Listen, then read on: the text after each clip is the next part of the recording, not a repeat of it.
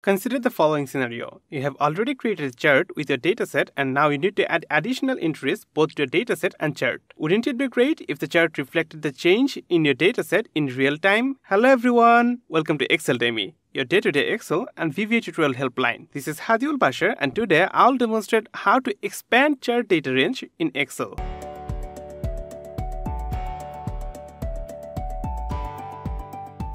For this video, I'll use Microsoft Excel 365. Here is the employee salaries dataset. This includes the name and the salary. You can see that a chart is already created using this dataset, but this is a static chart, which means if I add new records to this dataset, the chart won't get updated automatically. Let me recreate the chart from scratch so that you can understand the problem properly. I will create a clustered column chart using the existing dataset. Select cells B4 to C9, move to the Insert tab. From the Charts section, click on Insert Column or Bar Chart. From the 2D column chart, choose the Clustered Column Chart. So this is the chart using the existing dataset. Now I will add new data in row 10. Move to cell B10 and type the name. Next, input the salary and hit enter. You can see that a new data is recorded but not included in this chart. To include the new data in this chart, click on the chart area. This will highlight the data points of this chart in the worksheet. Now place the mouse cursor to the bottom right corner of the blue border and a two-headed arrow appears. This is the sizing handle. Drag the sizing handle up to cell C10 to include the new record in the chart. That's it. You can see the new record is included in this chart using the sizing handle.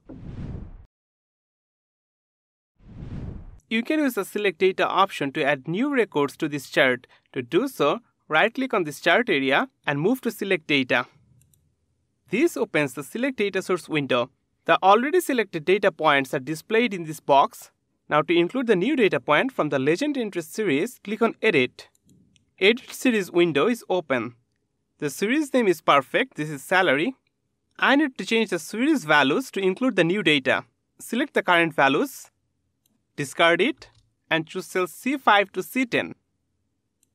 You can see the new salary is added in this chart. Now click on OK. To add the name from the horizontal category axis labels, click on Edit.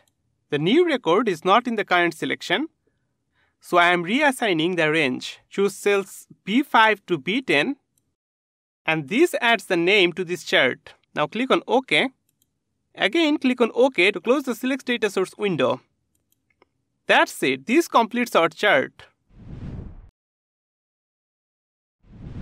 Converting the dataset to a table is a permanent method to update the chart whenever you enter a new record in the dataset. To create the table, select cell B4. You can create the table in two ways. Move to the Insert tab.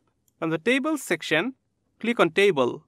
Or you can press Ctrl plus T to create the table.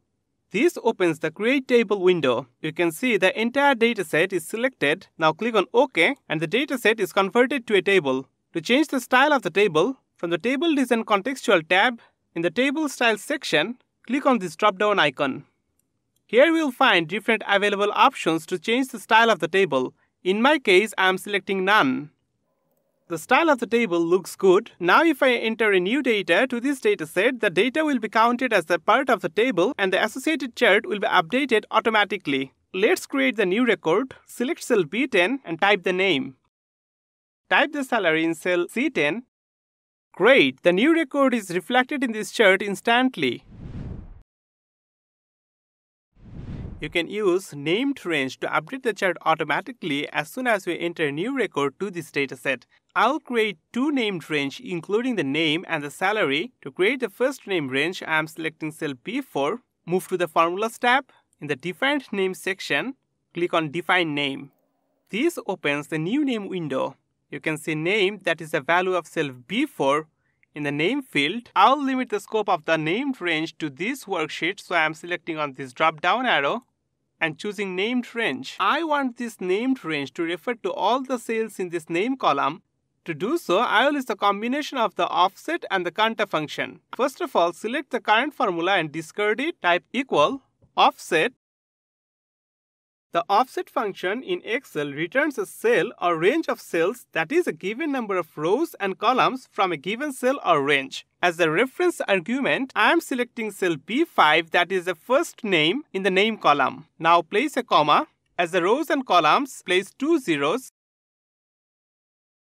Now to determine the height argument of the offset function, I'll use the COUNTA function.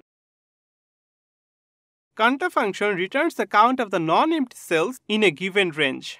I want the COUNTA function to return the number of non-empty cells in this B column to get the name of the employees. So as a range, I am selecting the B column, close the parenthesis. To exclude the header from the total non-empty cells, subtract 1, close the parenthesis and click on OK. In this way, the named range for name is created. Now let's create the named range for salary. Select the cell C4. This time I will use the name manager option to create the named range. You can either click on the name manager or press Ctrl plus F3 to open the name manager. Here you can see the name that I have just created. If you need to edit the name, you can click on edit. In my case, the name is perfect, so I am closing this window and clicking on new to add the new name.